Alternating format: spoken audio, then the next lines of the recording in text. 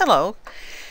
This is the Neil Squire Society presentation on the ABCs of keeping a new job. Congratulations. Well done in finding that job that you wanted so much. You're starting a new job and you may feel like you've just crossed the finish line. This lesson is about keeping that job and building a future in the field of interest you've chosen.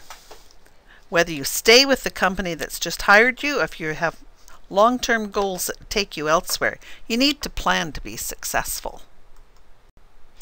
One of the first things to be aware of is attitude and attendance. You need to make sure you can demonstrate your respect by showing up for work on time and allowing yourself enough time to be ready to start work at the assigned time.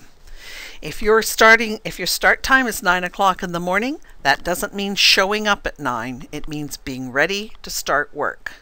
Make sure you return from your breaks on time. Even if you think nobody notices, you'll be mistaken.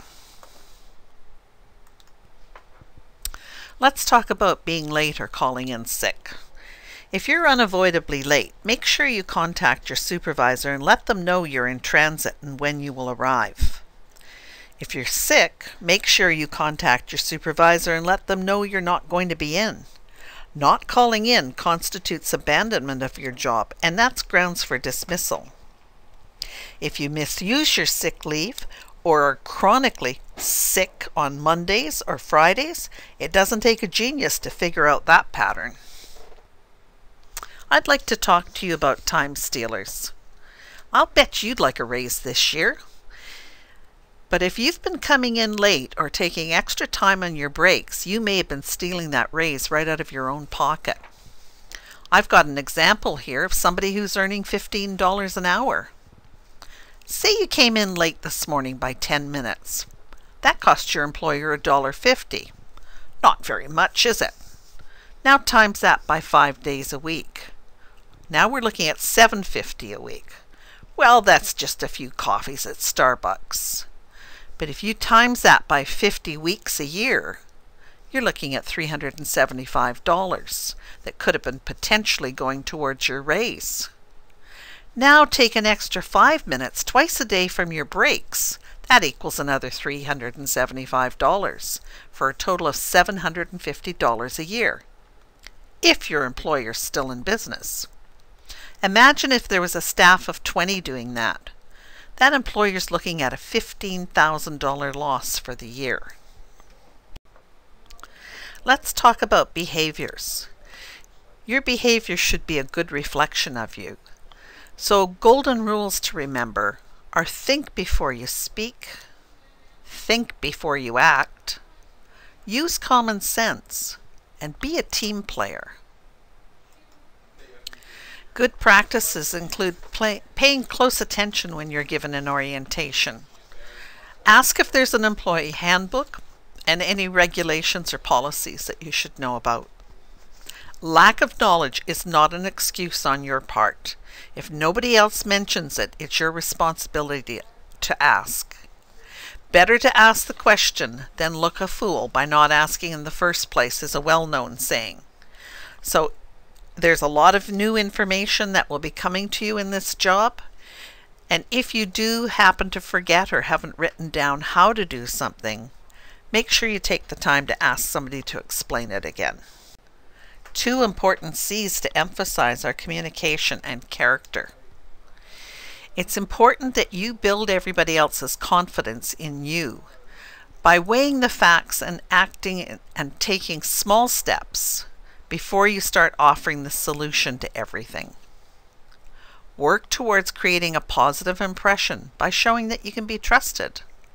And make sure you include the other team members and demonstrate your respect for them.